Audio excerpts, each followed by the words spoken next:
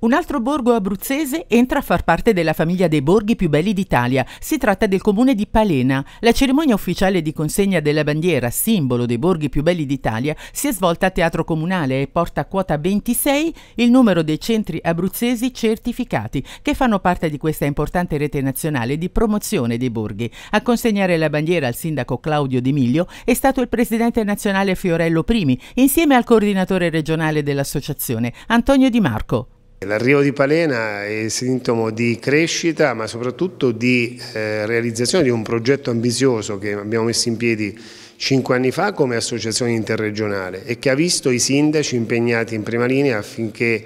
i comuni meno conosciuti fossero anche più conosciuti e anche strategici nelle politiche di sviluppo turistico nazionale attraverso il, la nostra Associazione Nazionale dei Borghi più belli d'Italia. Questa Rio di Palena ci fa bene perché ci fa ben sperare dal punto di vista anche degli ulteriori obiettivi che ci siamo prefissi in Assemblea interregionale, anche perché eh, andremo in Calabria nel mese di settembre, il 6, 7, 8 settembre al Festival Nazionale e porteremo un risultato ancora più incoraggiante perché l'idea del film Un mondo a parte che si è evidentemente realizzato in Abruzzo tra i territori che conosciamo bene, quelli di Pescasserio, ma segnatamente di Opi che è uno dei borghi più belli d'Italia ci farà anche conoscere in una platea nazionale che guarderà con attenzione questo prodotto cinematografico. Qual è l'obiettivo ulteriore che noi vogliamo conseguire? Intanto far crescere la regione Abruzzo e la regione Molise perché noi siamo attrattori di interesse nazionale e internazionale anche attraverso flussi sempre più consistenti di turisti che arrivano proprio perché sanno che i nostri borghi sono certificati, quindi rappresentano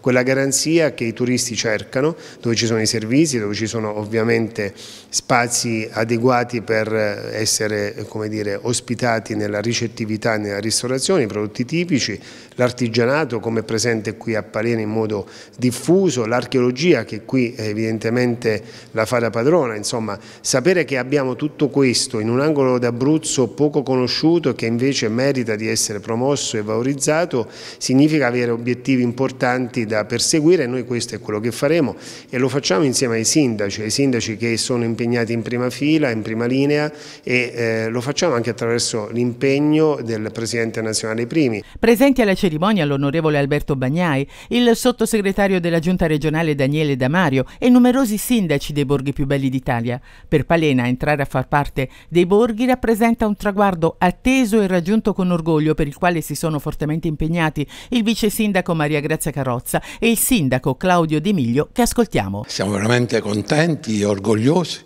e felici per la nostra cittadinanza che finalmente viene coronato un sogno di una vita. Tante amministrazioni ci hanno provato, la nostra ci è riuscita, un grazie a tutta l'amministrazione, un plauso particolare al vice sindaco che si è adoperata tantissimo e grazie ai cittadini che tengono questo paese che è un biciur e pertanto non potevamo che essere premiati.